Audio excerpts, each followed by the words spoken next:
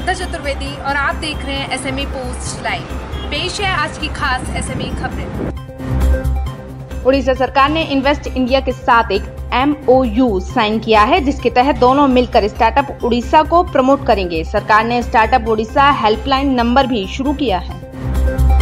उत्तर प्रदेश के नए मुख्यमंत्री योगी आदित्यनाथ राज्य को एक स्टार्टअप राज्य बनाने पर ज़ोर दे रहे हैं। इस दिशा में जल्द ही लखनऊ में देश का सबसे बड़ा स्टार्टअप इंक्यूबेटर स्थापित किया जाएगा।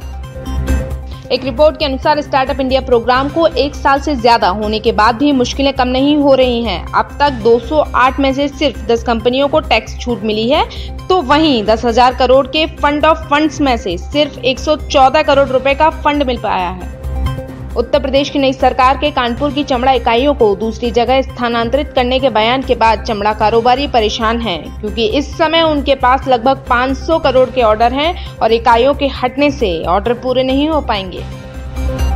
Khadi village industries and commission KVIC ने असम वन विभाग के साथ मिलकर काजीरंगा पार्क के पास एक ट्रेनिंग और उत्पाद सेंटर खोला है, जहाँ कॉटन खादी का निर्माण होगा।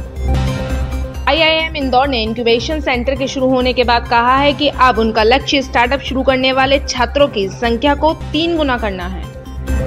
भारत का हैंडीक्राफ्ट एक्सपोर्ट रिकॉर्ड लेवल पर पहुँच गया है। 2016-17 में यह अपने टारगेट 23,560 करोड़ रुपए से 970 करोड़ रुपए ज़्यादा रहा है।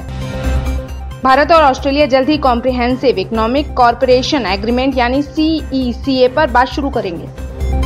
एक रिपोर्ट के अनुसार आने वाले महीनों में रुपया डॉलर के मुकाबले मज़बूत होकर तिरसठ रुपए तक जा सकता है।